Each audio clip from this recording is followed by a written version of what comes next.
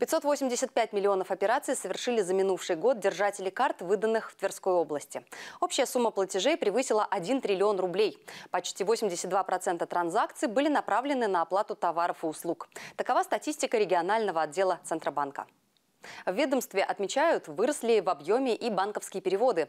Их за год совершено 90 миллионов на 488 миллиардов рублей. Средняя сумма также увеличилась и составила 5400 рублей. Специалисты регулятора отмечают, что неограниченные возможности безналичной оплаты в повседневной жизни позволяют жителям региона ежедневно совершать покупки, оплачивать проезд в общественном транспорте, переводить денежные средства по системе быстрых платежей.